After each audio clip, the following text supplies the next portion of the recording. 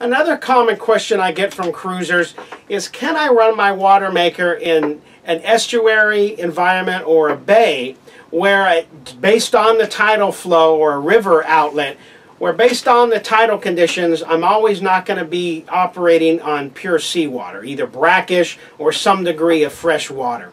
So I wanted to cover that because I think it's an important thing that has again lots of myths and half-truths associated with it.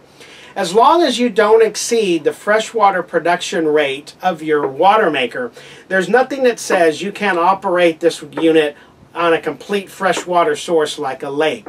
Now in seawater, for example, you'll need 800 psi to overcome the osmotic pressure of the seawater to generate your freshwater production rate.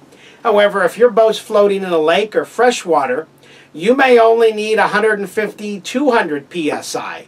Varying degrees of salinity up to full seawater will need kind of a sliding scale of pressure.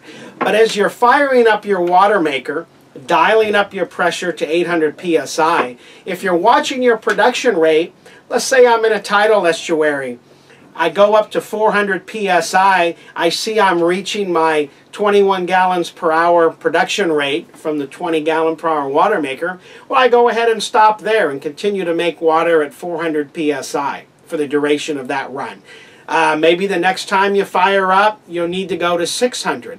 There's some plus or minus back and forth here, but what you're trying to avoid and what you have to be careful of and where the concept of never run a water maker on fresh water comes from is that without the, organ the osmotic pressure of the seawater holding back the seawater, under pressure, a lot of that water is going to be forced through the membrane. A membrane has a maximum amount of seawater known as flux or fresh water that can go through the membrane surface area pores without causing it to be torn or ripped. So if you try to overflow a, a unit, let's say you run a water maker at 800 psi from a freshwater source, or during a backflush you put the, the unit up to 800 psi, yeah, you could damage the unit by sending too much water through the membrane.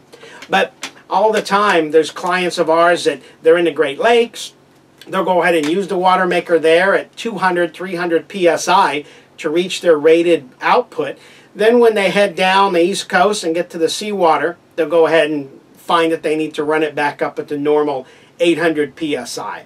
So there's nothing wrong with running it in brackish water, lake water, and estuary. It's just a matter of paying some attention to your production rate, which there's a big flow meter there on the front of the panel, or your pressure, just making sure you're staying within the operational parameters.